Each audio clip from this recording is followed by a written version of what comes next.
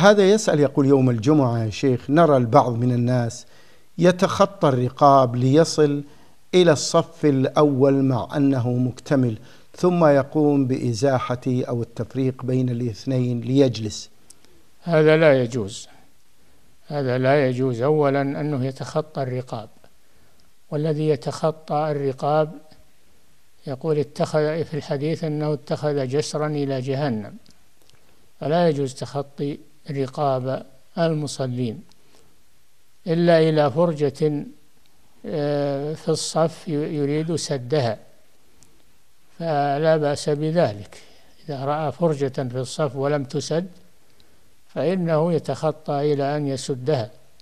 أما إذا كانت الصفوف مكتملة فإنه لا يتخطى الرقاب ويفرق بين المصلين ليوجد مكانا له.